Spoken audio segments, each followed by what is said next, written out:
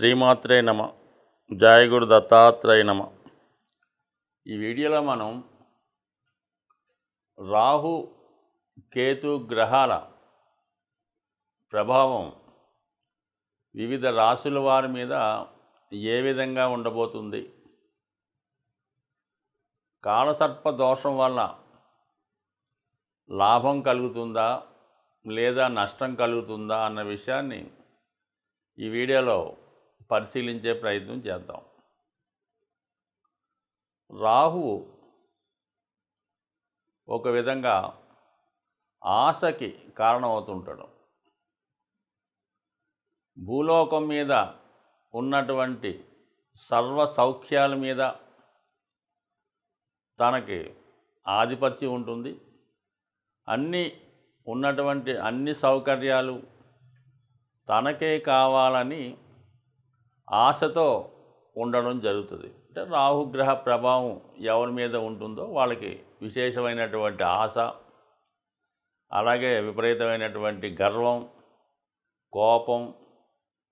అంటే మామూలుగా ఆరు దుర్గణాలు అంటారు కదా ఇవన్నీ కూడా అంతర్గతంగా రాహుగ్రహానికి అంతర్లక్షణాలు అన్నమాట రాహు ఎప్పుడు కూడా హీరో కావాలనుకుంటూ ఉంటాడు. అలాగే నాయకత్వ లక్షణాలు కలిగి ఉంటాడు.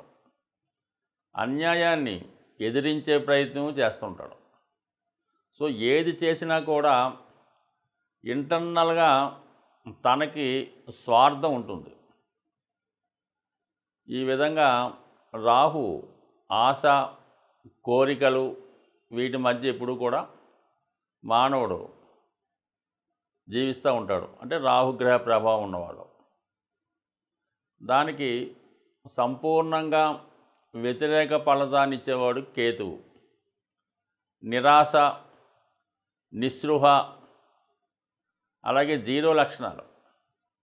ఎటువంటి కోరికలు ఉండవు. ఒక విధంగా ఒక విధమైనటువంటి నిడారంబర యోగం సన్యాస యోగం లాంటిది అనమాట అంటే అన్నీ తెదిస్తూ ఉంటాడు.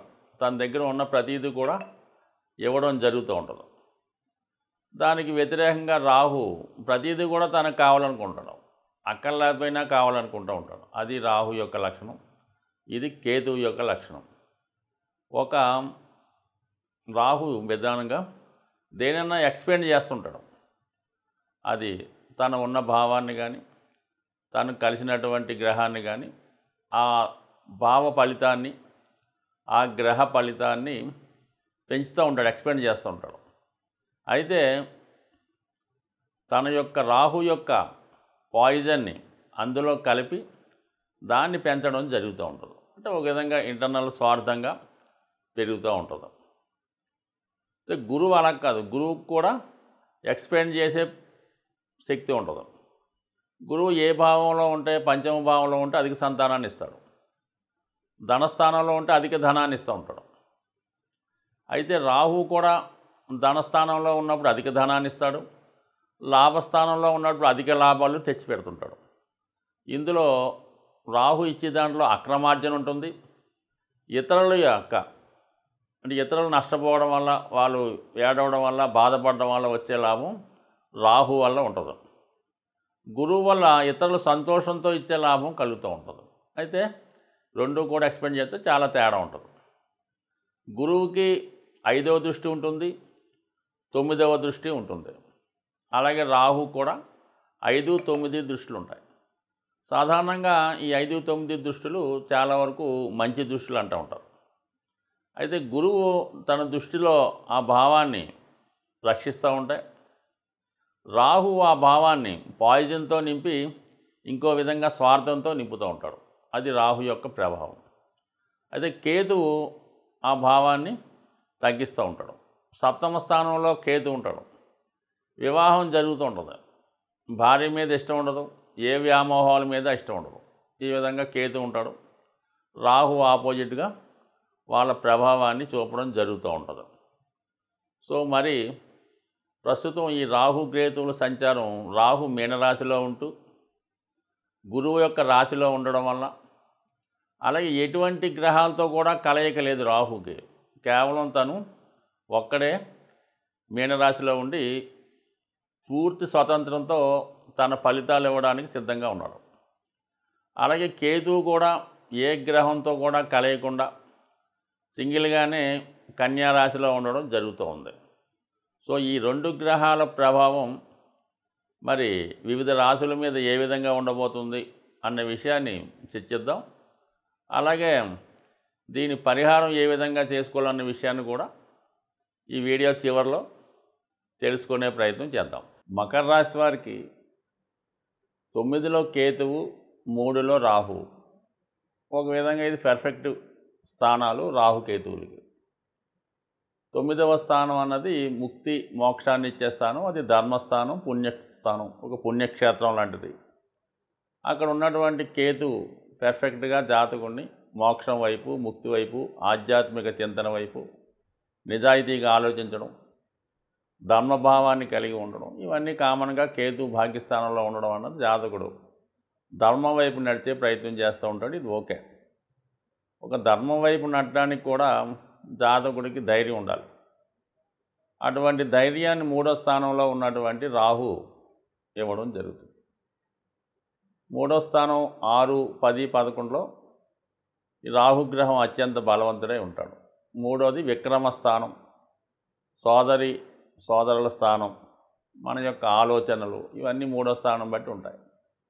జాతకుడు ధైర్యంగా జీవితంలో నిలబడాలన్నా కష్టపడి పనిచేయాలన్నా వృత్తిలో సక్సెస్ సాధించాలన్నా మూడో స్థానం బలంగా ఉండాలి. అక్కడ రాహు ఉండడం వల్ల జాతకుడు ఏదైనా ఒక బాగా సామర్థ్యం కలిగినటువంటి వృత్తిలో స్థిరపడే అవకాశం ఉంటుంది. ముఖ్యంగా పోలీస్ డిపార్ట్మెంట్ అవ్వచ్చు సైన్యం అవ్వచ్చు క్రీడారంగం అనొచ్చు ఏదైనా కాంపిటేటివ్తో కూడుకొని ఉంటుంది సీక్రెసీ ఉంటుంది చాలా ఎక్కువ వేతనం కలిగి ఉంటారు.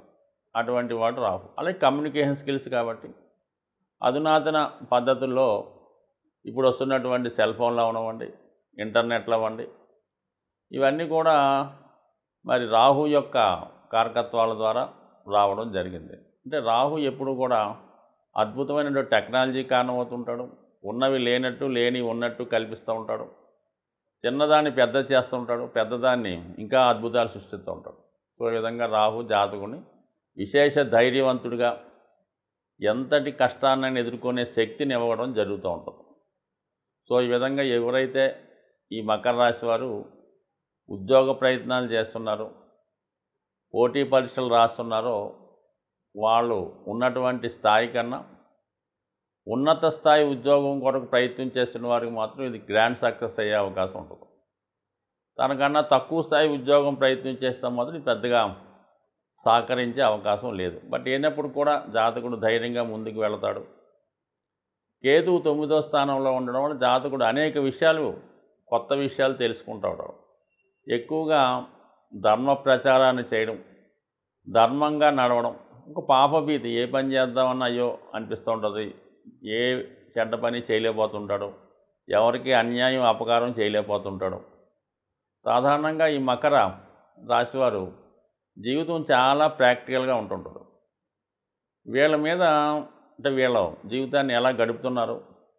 ఎలా మెయింటైన్ అవుతున్నారని వీళ్ళ దృష్టి అందరి దృష్టి కూడా వీళ్ళ మీద పడుతూ ఉంటుంది అన్నమాట సో ఆ కారణం వల్ల ఏంటంటే జాతకుడు ఏమాత్రం అభివృద్ధి చెందిన ఇతరులు వాడిని తొక్కే ప్రయత్నం చేస్తూ ఉంటారు అనమాట ఏదో ఒక మంచి ఉద్యోగం వచ్చినా చూడలేరు.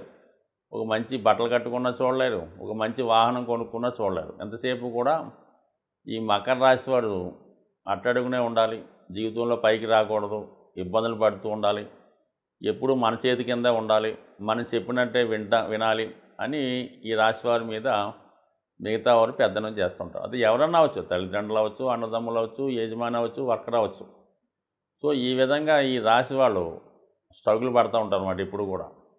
ఉన్నదాన్ని కూడా అనుభవించలేకపోతుంటారు. అటువంటి వారికి ఈ మూడో స్థానంలో ఉన్నటువంటి రాహు ఒకేసారి ప్రజా చైతన్యం వచ్చి తిరగమన్నట్టుగా మరి ఉండడం జరుగుతూ ఉంటుంది. ఇప్పటిదాకా అణిగిమణిగి ఉన్నవాడు ఒకేసారి విజృంభించి తనలో ఉన్నటువంటి టాలెంట్ను రుజువు చేసుకొని అందరికన్నా నేనే గొప్పవాణ్ణి అని రుజువు చేసే విధంగా తన యొక్క ప్రతిభని సాధించుకునే అద్భుతమైనటువంటి టైము ఈ చతు తృతీయ స్థానంలో రాహుగ్రహ సంచారం వల్ల అందరూ ఆశ్చర్యపడే విధంగా అతి త్వరలో ఈ మకర రాశి వారు అభివృద్ధి చెందే అవకాశం ఉన్నది. దానికి కేతు యొక్క ధర్మపాలన భగవంతుని అనుగ్రహం తోడవుతుంది కాబట్టి ఖచ్చితంగా మరి ఈ మకర రాశి వారికి ఒక విధంగా భగవంతుని యొక్క కృపతో అదృష్టంతో వాళ్ళు స్వయం కృషితో ఖచ్చితంగా జీవితంలో పైకి రావడం మొదలైంది. రాహు కేతు గ్రహాల ప్రభావానికి లోనేప్పుడు ఎటువంటి పరిహారాలు తీసుకుంటే ఆ గ్రహాలు అనుకూలిస్తాయి అన్న విషయాన్ని మనం పరిశీలించే ప్రయత్నం చేద్దాం. అయితే రాహుగ్రహం ఒక విధంగా తాంత్రిక గ్రహం. అందువలన తాంత్రిక దేవతలైనటువంటి దశ మహావిద్యల్లో ఉన్నటువంటి అమ్మవారిని ఆరాధించడం వల్ల వాటిని కొలచడం వల్ల ఆ ఆలయాలు దర్శించడం వల్ల రాహు తొందరగా మనకి అనుకూలించే అవకాశం ఉంది. అయితే సాధారణ మానవుడికి ఆ దశ మహావిద్యల్లో ఉన్నటువంటి అమ్మవారిని పూజించడం కానీ వాటిని ధ్యానించడం లేదంటే వాటిని బాగా పూజ చేసుకోవడం అలాంటి కార్యక్రమాలు చాలా వరకు చాలామందికి అందుబాటులో ఉండవు. అయితే ముఖ్యంగా ఈ దశ మహావిద్యల్లో ఉన్నటువంటి దేవతల్ని సరైనటువంటి గురువు లేకుండా ఆరాధించడం వల్ల ఇబ్బంది కలుగుతూ ఉంటుంది.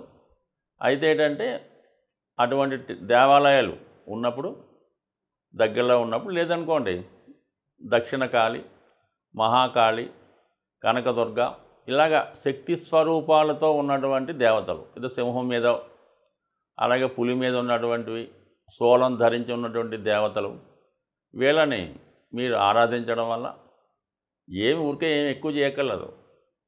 ప్రతి శుక్రవారం రోజు వీలైతే ఒక ఎనిమిది శుక్రవారాలు అమ్మవారి ఆలయానికి దర్శించడం వల్ల ఖచ్చితంగా మీకు రాహు యొక్క అనుగ్రహం లభిస్తూ ఉంటుంది. అలాగే కేతు ఇంకా అందరికీ తెలిసిందే ఎంతమందిని పూజించినా ఎటువంటి ఫలితం రాదు కానీ కేవలం విఘ్నేశ్వరుణ్ణి ఆరాధించడం వల్ల కేతువు తొందరగా అనుగ్రహం రావడం జరుగుతూ ఉంటుంది. అంటే కేతు అంటూ అనుగ్రహించాడంటే మిగతా గ్రహాలు ఏది కూడా ఇవ్వలేనటువంటి ఫలితాన్ని లాభాన్ని కేతు గ్రహం ఇవ్వగలడు. కావాలని విఘ్నేశ్వరుని ముఖ్యంగా సంకటహర చతుర్థి. అలాగే వినాయకుడిని గరికతో అర్చించడం. లేదంటే గణపతి హోమం. లేదంటే వినాయకుడి టెంపుల్లో ఉండ్రాళ్ళు ప్రసాదంగా పెట్టి పంచిపెట్టడం.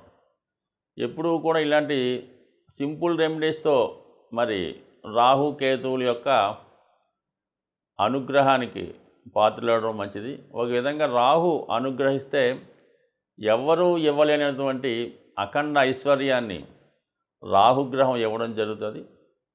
అలాగే కేతువు ఆధ్యాత్మిక రంగంలో అత్యున్నతమైన వ్యక్తులుగా తీర్చిదిద్దే ప్రయత్నం కేతు గ్రహం వల్ల రావడం జరుగుతూ ఉంటుంది. ఒక ఆధ్యాత్మిక రంగంలో అభివృద్ధి చెందాలన్నా శాశ్వత కీర్తి పొందాలన్నా కేతుగ్రహాన్ని ఫాలో అవ్వాలి. అలాగే మెటీరియలిస్టిక్ వరల్డ్లో అపర కుబేర్లుగా మారాలంటే రాహుగ్రహాన్ని ఫాలో అవ్వాలి. సో ఏదైనా నిజాయితీగా న్యాయంగా వెళ్ళినప్పుడు ఖచ్చితంగా ఏ గ్రహం అయినా అనుగ్రహించే అవకాశం ఉంటుంది స్వస్తి.